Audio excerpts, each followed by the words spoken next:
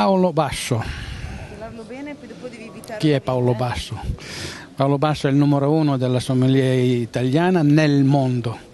No? Tu hai vinto questo grande concorso a Tokyo, raccontamelo un po'. Beh, è stato sicuramente molto emozionante, un lavoro che è durato tantissimo tempo perché insomma, vincere il campionato del mondo dei sommelier è un lavoro che parte da lontano. Finalmente dopo diversi anni che partecipo al concorso sono riuscito appunto a vincere questo campionato e chiaramente sono arrivato diciamo, all'obiettivo che avevo nella mia professione. Ma se tu fossi una, un, un, corridore ciclista, dovresti raccontare questa corsa, quando hai, cominciato, quando hai cominciato ad allenarti bene come si deve e quando sei arrivato al traguardo? Da, da, giovane, ho iniziato diciamo così, da, da, giovane facendo i lavori di rinforzo muscolare, per cui la conoscenza dei vigneti, iniziare a girare, viaggiare tanto per conoscere tutti i vigneti dei primi europei, poi del mondo, eh, degustare con tante persone diverse con delle formazioni molto diverse e da lì dove ho imparato tanto. E poi andando avanti bisogna fare diciamo così, quel lavoro diciamo così, di allenamento un po' più fine, allora ecco, si va a, a lavorare la degustazione soprattutto intesa nel riconoscimento della qualità prima ancora dell'identificazione del vino. Del resto il lavoro del sommelier eh, non è identificare il vino ma è capirne la qualità, quella è la cosa più importante, mi sono allenato molto bene su quello e poi ci sono un'altra serie di cose perché bisogna avere mm, una cultura diciamo, sul vino piuttosto elevata a livello mondiale, quello è un lavoro chiaramente di studio eh, che bisogna fare nel tempo.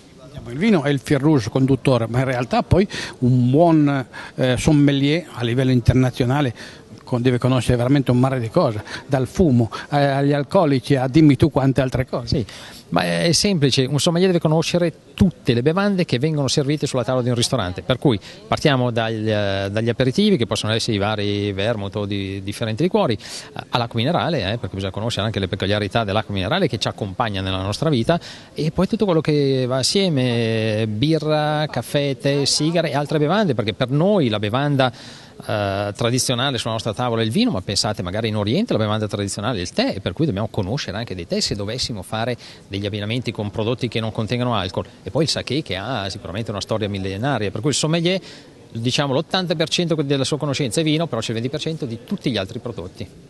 Quindi in pratica il sommelier non è nient'altro che una persona che fa in modo che il cliente seduto alla tavola sia coccolato al massimo e abbia al massimo delle sue soddisfazioni.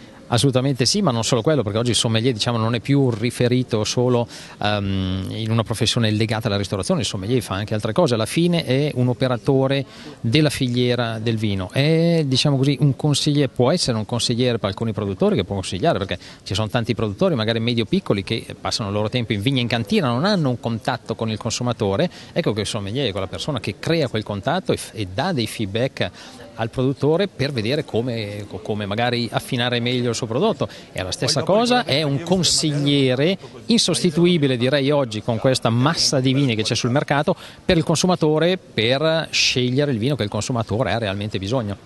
Ma quando hai vinto questo concorso, la stampa italiana, che spazio ti ha dato? Ma devo dire che la stampa italiana è un po' diciamo così, disorientata perché mh, ci sono state anche del, delle informazioni in altro, in altro, modo, però sono molto contento che la stampa internazionale ha dato molto seguito e molto risalto alla mia prestazione. Quindi noi abbiamo delle nostre eccellenze e le mettiamo, le collochiamo così, iniziamo in quinta pagina, diciamo qualche notiziola. E invece hai avuto dei grandi risultati dagli stranieri. Assolutamente sì, ripeto, devo essere molto grato alla stampa internazionale che mi ha trattato molto bene, ha divulgato molto bene la notizia del, del mio risultato e come sempre spesso le eccellenze italiane sono all'estero e ce ne dimentichiamo. Oggi che cosa andremo a vedere tra un pochettino in prega? Come avviene queste, questo concorso? Allora, diciamo la parte finale ovviamente. Ecco, oggi vediamo la, la, solo la parte finale, però bisogna pensare che all'inizio c'erano 36 sommelier, ognuno il migliore del proprio paese, 36 paesi europei quelli che arrivano qua sono ecco, la, la, creme della creme, insomma, quelli che sono riusciti a passare queste selezioni selezioni durissime e chiaramente chi passa qua è veramente il top di quello che c'è in Europa. Hanno passato dei questionari scritti, hanno passato delle degustazioni scritte, delle degustazioni orali, delle prove di servizio, di abilità chiaramente eh, professionale e solo chi aveva tutto questo riuscirà a essere qua oggi. Riesci a diciamo, una carrellata velocissima a dirmi dall'inizio alla fine cosa succederà?